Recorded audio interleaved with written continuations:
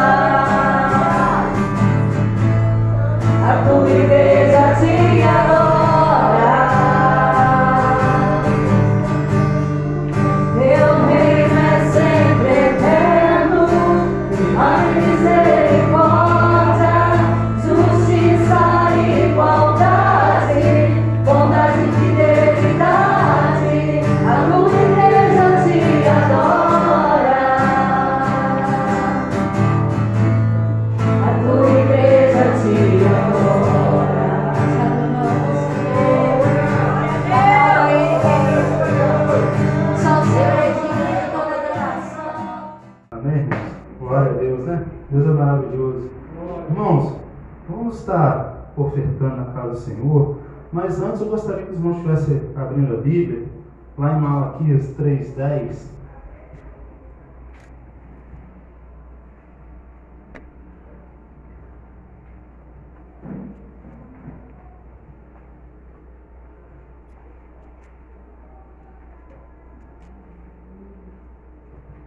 Trazei todos os dízimos na casa do tesouro, para que haja mantimento na minha casa, e depois fazei prova de mim, diz o Senhor dos Exércitos. Se eu não vos abrir a janela do céu e não derramar sobre vós uma bênção tal, que dela vos advenha a maior bastância. Irmãos, esse versículo ele é tremendo.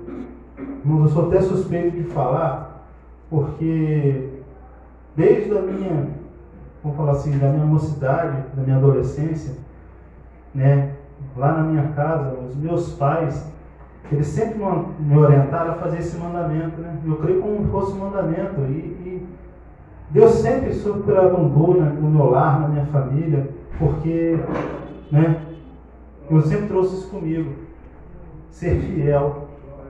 Irmãos, quando você entende esse mandamento, o que Deus faz é maravilhoso. Quando Ele fala que fazer prova de mim, não é fazer barganha, não, irmãos. Pode ter certeza, é real. Deus surpreende a gente todo instante. Tem coisas que às vezes a gente pensa, imagina e Deus envia na nossa casa, envia na nossa conta bancária a provisão. Deus é maravilhoso, irmãos. Então que os irmãos nessa noite possam trazendo a casa do Senhor, né, para que haja mantimento na casa do Senhor. Irmãos, através dos nossos dízimos e ofertas gera vidas, irmãos. Irmãos, a gente faz o trabalho de evangelismo. Tudo na casa do Senhor é para alcançar vidas. Às vezes a gente não está vendo diretamente aqui na casa do Senhor, mas está sendo gerada a sementinha lá no lar da, da pessoa, seja numa mensagem aqui no YouTube. Está sendo gerado, irmãos, é custeado. E Deus tem feito o sobrenatural na nossa igreja, para a glória de Deus, eu creio, e vai fazer, tá bom, irmãos? Vamos estar orando? Pai querido, Pai amado, Deus de poder e glória. Pai, neste momento, Pai, diante aqui, ó Pai da tua igreja, Deus, venhamos orar agora, Pai, pelos dízimos e ofertas, ó Deus. Pai, que neste momento, ó Deus, cada semente, ó Pai, que está aqui no teu casofilaço, ó Deus, possa estar gerando vidas, ó Pai.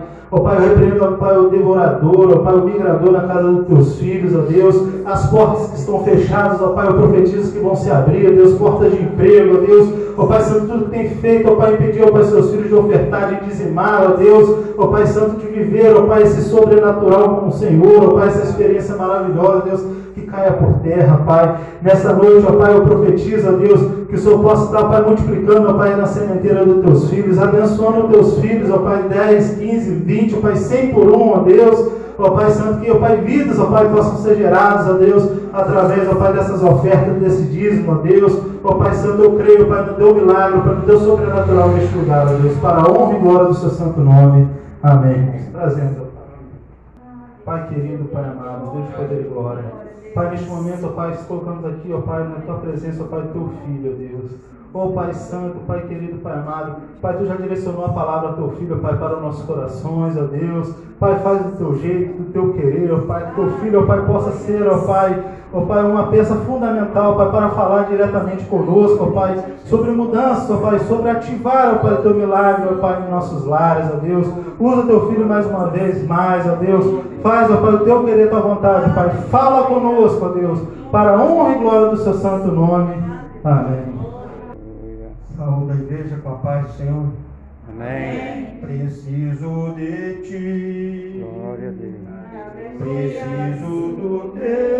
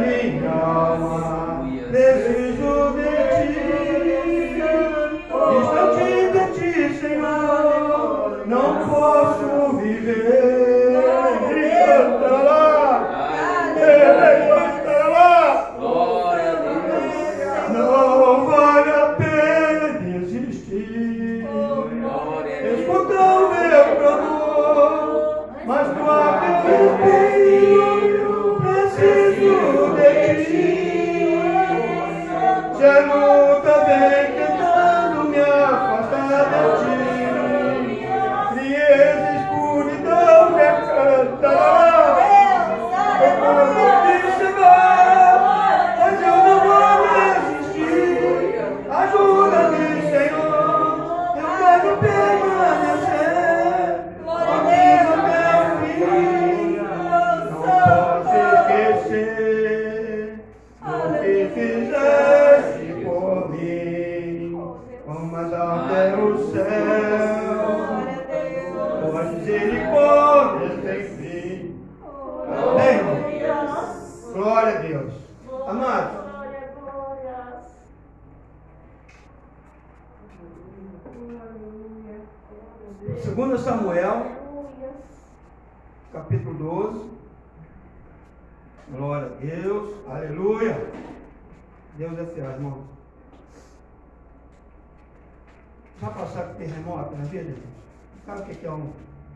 tempestade? Tempestade de natureza, é vento, é granizo, vento forte, enxurrada. Né, irmão? E na vida do cristão, isso tudo passa. Aleluia. Tá, Tudo passa, porque existe um momento na vida da gente que as coisas vão ver. Minha esposa, a terceira vez, está lá, quarentena. Mas, glória a Deus, eu creio que já passou. Em nome de Jesus. Porque Deus me garante a vitória. Glória a Deus. Amados, aqui, na passagem de 2 Samuel, tem uma passagem sobre Davi, constituiu a família, né? E de repente rei, né? Passa uma situação aqui. Então, irmãos, aqui hoje, aqui, família, visão de Deus para o governo da terra. Certo, irmão? Introdução. Hoje em dia, o que mais se vê? Os irmãos podem se assentar, mas Hoje em dia, mais que se vê nos jornais e na mídia, são crimes envolvendo o próprio membro da família. Crimes hediondos, contra maridos, esposas, pais e filhos, filhos contra pais. Desde Adão, desde Adão e Eva, em sua desobediência com Deus, deram a Satanás o governo da terra e passaram de governantes a escravos. Deu para entender, irmão? 2 Coríntios, diz aqui, 2 Coríntios 4, 4. Os quais, nos quais o Deus deste século chegou ao entendimento dos incrédulos, para que não lhes resplandeça a luz do Evangelho, da glória de Cristo, que é a imagem de Deus. Amém. E vem aqui também Romanos 6,16: Não sabeis vós que a quem vos apresentardes por servos, daquele a quem obedeceis, ou do pecado para a morte, ou da obediência para a justiça. Hoje, amados, nós temos aqui cinco tópicos. Tiramos aqui da, da, da, tá acerca da família, do governo da família, e para deixar para a igreja. Primeiro, Davi estava né, ali, nesse momento ali, certo? de repente, ele caiu adultério, né? mata o esposo da, da, daquela pessoa, vem um filho, este filho adoece, porque ele aborreceu ao Senhor, adoece, no sétimo dia ele morre, ele cai em pranto, pranto, pranto, certo? Porque ele estava cego, cego quando ele cometeu aquilo, já estava cego. E o que, que acontece? Não adiantou nada o plano. Tá, irmão? Então, as consequências virão. Então, nós devemos primeiro estar com os olhos voltados para o Senhor e sempre direcionado ao Senhor. Quando vier fraqueza, você busca, busca, busca e vai vir a resposta. Então, irmão, ele ali planteou e não adiantou nada. Veio as consequências e Deus entristeceu muito o coração de Deus, porque ele era um líder, certo? Não, não somente é um líder, acontece com qualquer um de nós, mas ele, ele tinha, ele, né, a pessoa mais de destaque, certo, irmão? E segundo o coração de Deus, né, ele desviaram consequências. Então teve consequência tremenda. Primeiro filho, certo? E não era, né? era um filho lá daquela situação do adultério. No século XIX morreu. Aí vem como é que serve, teve Salomão, Salomão teve três filhos. Certo? Três filhos. Aí, aí começou. Anon, né? Tamar, Absalão. O que que acontece? Anon começa a ter os olhos voltados para a irmã. O que que aconteceu? De repente vem ó, o primo lá, ó, Abinadab, ó, ó, no ouvido dele. Ah, mas que pai, eu não sei o que.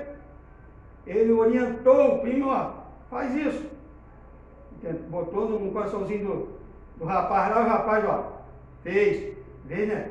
De buscar lá Deus, não. Foi, deu ouvido lá. Que segundo aqui o Simé aqui era irmão Davi. Então eu creio que vocês primos. O que aconteceu? Ele consumou o fato. Absalão se entristeceu muito, mas lá na frente arruma um jeito de matar o irmão. Olha só que, que, que tragédia, né? Que tragédia. Então, irmão, quando a gente tira os olhos da cruz, os olhos do Senhor, o que pode acontecer? Então, irmão, nós constituímos família, o homem foi ali, é, constituído cabeça, certo? Então, irmão, você tem que pagar um preço. Para você ser o líder, você tem essa responsabilidade. Não adianta, certo? Não adianta chutar o balde, porque Certo? Tem que ter um compromisso. E esse compromisso é seriedade. Tá, irmão? Então, tá aqui. Primeira coisa. Primeiro, não se desviar das ordenanças de Deus. Primeiro, nós não devemos desviar da ordenança de Deus. O Senhor disse a Abraão, Abraão, Abraão Sarai, que teria um filho da promessa. Certo? Aí agora, ele preferiu ouvir Saraí, porque Sara era estéreo, certo? Estava ali, né? não estava perguntando filho para ele. O que aconteceu? Ela induziu, falou: Ah, por que você não pega minha serva? Entendeu? Aí vai ter filho, vai dar filho. Consequência. Já depois da nascença já começa a se sentir desprezada. Porque nem marido e nem a serva não dá mais- ideia para ela. O que acontece? Aí o Abraão vai, tu fica, faz com as serva que você quiser. Aí foi, foi afligiu a serva lá, a serva, saiu no campo. Saiu no campo, né? Infelizmente não tinha mais né, aquele, aquele clima ali. O que, que acontece? Encontra com o Senhor, você volta lá. Se humilha lá para a tua serva lá, é a orientação de Deus. Tá, irmão? Ela voltou. Mas, irmãos, teve consequências. Tá, irmão? Porque não deu ouvido para o Senhor, não esperou na promessa do Senhor. O Salmo 40 diz aqui no versículo 4, no, no Salmo 40, versículo, versículo 1 é espelho de paciência, certo? E no versículo 4, irmão, dá uma olhada aqui. Se não quiser consultar aí, glória a Deus. Aleluia. Salmo 40, versículo 4.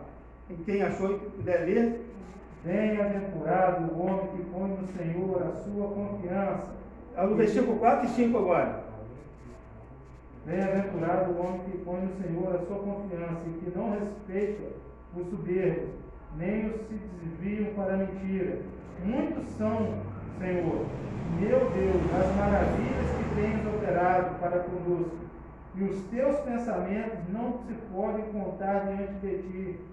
E que eu quisera anunciá-los e manifestá-los, mas são mais do que se podem contar.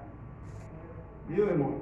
Abraão, quando tem o Ismael ali, tinha 86 anos. Ainda não estava né, perto lá da promessa de Deus. Quer dizer, ele foi precipitado, certo? Ele ouviu o conselho da mulher, por que você não faz isso? Então, irmão, cuidado com os conselhos. Aí aconteceu essa situação. Deus não é o filho da aflição lá.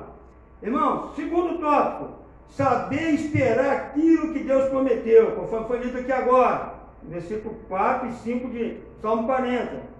Bem-aventurado o homem que põe no Senhor a sua confiança e não respeita o soberbo, nem os que se desviam para mentira. Ajudinha para Deus, né, irmão? Uma ajudinha para Deus, né? Meu Senhor. Então, irmão, vamos ter aquela sintonia, aquela proximidade de Deus para você ver, Senhor, é do Senhor? Entendeu? Então, irmão, temos que confirmar. Muitas são, Senhor meu Deus, as maravilhas que tens operado para conosco, e os teus pensamentos não se podem contar diante de ti. Eu quisera anunciá-los e manifestá-los, mas são mais do que se podem contar. Esse é o finalzinho do versículo 5 do Salmo 40. Irmão, a falta de paciência levou Abraão a dar uma ajuda para Deus. Não é, não é assim na vida da gente? A gente tem hora que quer que acontece ligeiro, né, irmão? E a gente paga o preço. Quando tem dinheiro, você faz sem perguntar a Deus. Quando não tem dinheiro, você tem um pouquinho de paciência de perguntar a Deus. Mas, irmão, tem que ter toda a observância, toda a diligência quando você tiver dinheiro. Porque diz que você tem que honrar, louvar a Deus no pouco, honrar e louvar a Deus no muito. Se você está aflito, você está louvando a Deus. E agora você está na bonança, você esquece de Deus? Você as costas para Deus? Não, né, irmão? Então, irmão, isso aí, esses momentos aí, a gente tem que tá, ter uma, uma diligência tremenda, tá, irmão? Então, a falta de paciência levou Abraão a dar uma ajudinha para Deus. E vem, vem as consequências. Amados, 3, tópico 3. Nunca deixar de olhar para a cruz. Hebreus 12, verso 2, diz na perseverança de Jesus ali, naquela tentação com o diabo ali, perseverança nas provações, irmãos. Vem aqui, ó, Hebreus 12. Olhando para Jesus, autor e consumador da fé. Ele foi um exemplo, tá, irmão? Ele é autor e consumador da fé, o qual, pelo gozo que lhe estava proposto, suportou a cruz, desprezando a afronta e assentou-se à destra do trono de Deus. Filipenses 2, irmão, está dizendo também, irmão, de sorte que haja em vós o mesmo sentimento que houve também em Cristo Jesus. Tá? Irmão? De sorte que houve o mesmo sentimento, tá, irmão? Então nunca deixar de olhar para a cruz. Nós temos que ter essa, essa sensibilidade. Versículo 14 e 16 de, de, de Filipenses, irmão, está dizendo, fazei todas as coisas sem murmurações, nem contendas, para que sejais irrepreensíveis e sinceros, filhos de Deus, inculpáveis, no meio de uma geração corrompida e perversa, entre a qual resplandeceis como astro no mundo, retendo a palavra da vida, para que no dia de Cristo possa gloriar-me de não ter corrido nem trabalhado em vão. Tá? Corre, corre, nada, nada. Nada, nada, morre na areia, não adiantou nada. Corre, corre, parou, não adiantou nada. Tá? Tem uma passagem do, do rei Asa. O rei Asa desmanchou os monturos, os bosques, não sei o que e tal, servindo ao Senhor. De repente, nada guinou. Quando guinou, doeceu, uma doença mal, em vez de procurar o Senhor, quem foi procurar? Um médico. Ah, voltou só para o médico. Um médico. Em vez de procurar Deus, ou na orientação dos médicos, entendeu? Vai procurar um médico. Não, tem que procurar primeiramente Deus. Não, ele procurou primeiramente os médicos. Tá, irmão? Nós somos cidadãos dos céus. Então, quando de ser afligido por uma enfermidade, primeiro Senhor. Depois o Senhor direciona médico. Tá, irmão? Então, não vamos ser igual o rei Asa. Tá? O rei Asa nadou, nadou, morreu na areia. Tá, irmão? Glória a Deus.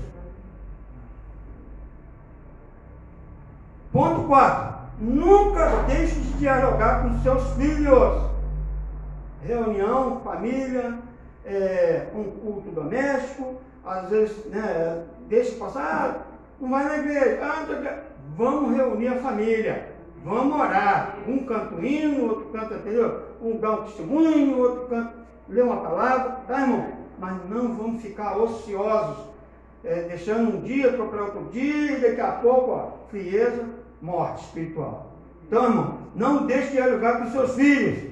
É, me lembro aqui, um pouco passado aí, o pastor William, deu a permissão, um testemunho dele, uma situação com a filha, poxa, ele viu que entristeceu com a sua filha, conversou com a filha, pediu perdão ao filho. Muito bonito, irmão. Você sabe por quê, irmão? Mostra que nós somos humanos. Tá, irmão? A gente aquele impulso pode acontecer. Mas e aí, irmão? Deus operou. Deus operou. Com certeza a filha se sentiu regozijado. Falou, meu Deus, meu pai, meu, meu herói. Mostrou a fraqueza da filha. Me perdoa. É isso aí, filho. Então tem que fazer isso, irmãos. Olha, pague o preço. É lindo, é maravilhoso. E aí, ó, a é, vida é restaurada, certo? Você ganha mais um ponto diante de Deus. E ó, e a paz, a paz transborda. Você entendeu, irmão? Não tem um hino que diz assim, perfeita paz, gloriosa paz, desde que Cristo minha alma salvou, tenho doce paz. Paz inefável. Paz de Deus que faz bem. Faz bem mesmo.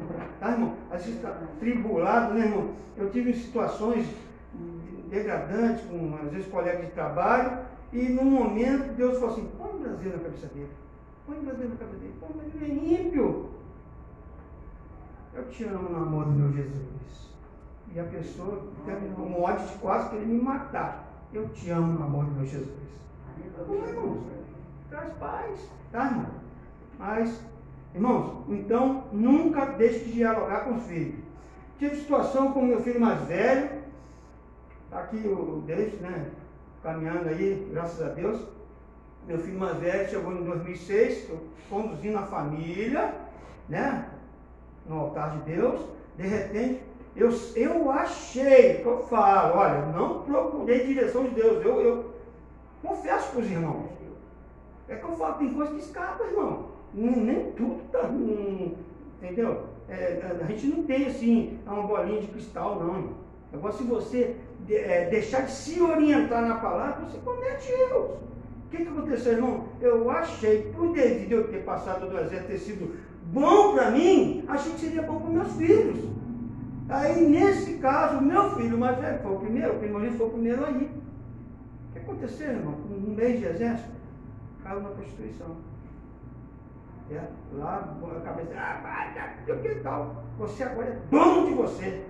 Dono de você teve um lá, um orientador religioso lá, de uma seita aí, e começou a cabeça assim, pronto, meu filho sumiu, ficou 15 dias desaparecido.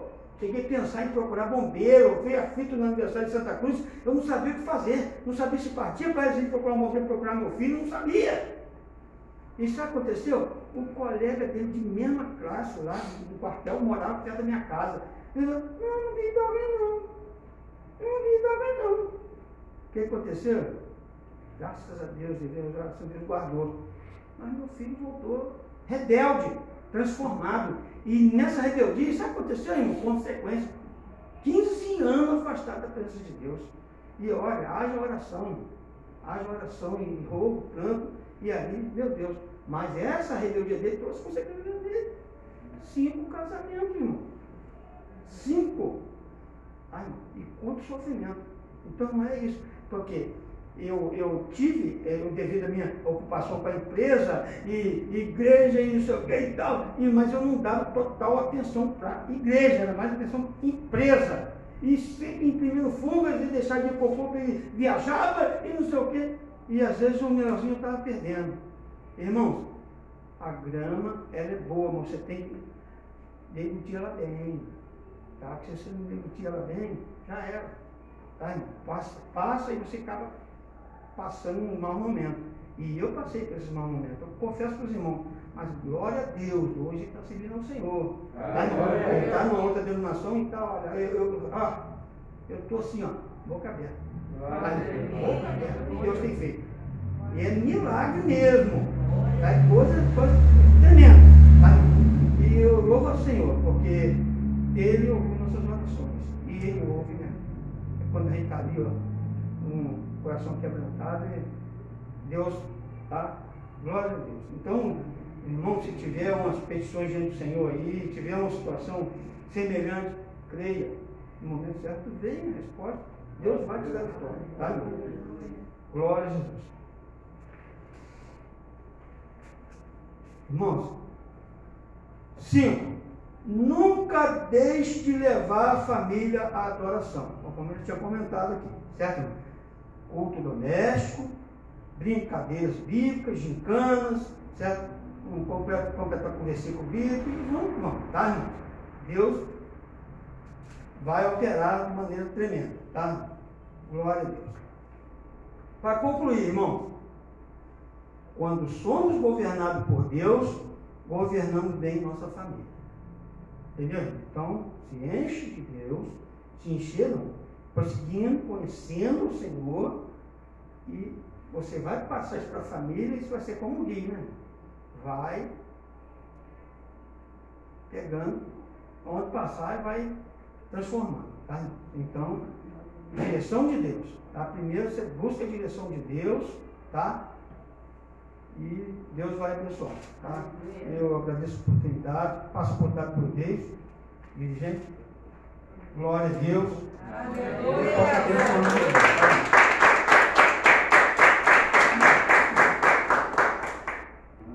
Amém, irmãos? Glória a Deus. Deus é maravilhoso, né? Deus falou com você? Falou comigo. Amém? Gostaria de estar chamando o nosso presbítero amado para estar fazendo uma oração. Amém? E Deus vai falando no coração dos irmãos. Quem recebeu nessa noite aqui? Amém? Glória a Deus. Deus é maravilhoso, irmãos. É só crer que os milagres estão acontecendo. Aqueles que estiverem com os olhos tampados, mostra para o Espírito Santo. Deus está mostrando que ó, é maravilhoso. Amém. Amém. Glória a Deus. A paz do Senhor, igreja. Amém? Vamos nos colocar de pé. Um momento muito precioso. Essa, essa família do, do diácono Davidson é abençoado, né? Se vocês é, notar, o, o Davidson pregou na quinta-feira e é a família de tenor, né? Ele já começa com louvor. e eu falei, rapaz, é tremendo, muito jóia, muito jóia. Vai aprendendo, é família, né? Vai aprendendo, isso é muito bom, muito, muito contagiante, né? Eu vou começar também.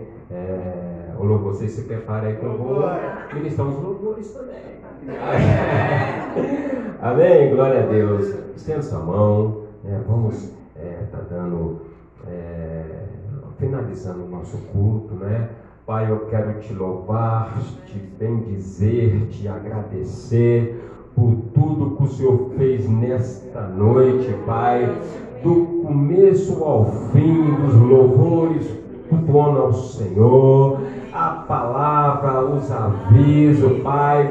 Muito obrigado. Estamos sendo aqui, Pai, tremendamente alimentado com a tua palavra. Mais um culto para a família, Pai. Que nós possamos mesmo tomar posição, Pai, diante do Senhor. Enriquecer cada vez mais, Pai, os nossos lares com as suas palavras um bom testemunho, que nós possamos ficar atento mesmo, porque o inimigo, Pai, ele quer, Pai, tragar mas o Senhor vem, Pai, com a sua destra, Pai, nos afastando desse mal, em nome do Senhor Jesus. E a graça, a paz que é concedida diante dos céus, seja derramado para todos sempre, para a igreja. E nós dizemos: Amém. Se o Senhor é por nós, tudo posso. E quem nos fortalece? Jesus. Dá um brado de guerra aí. A paz do Senhor Jesus.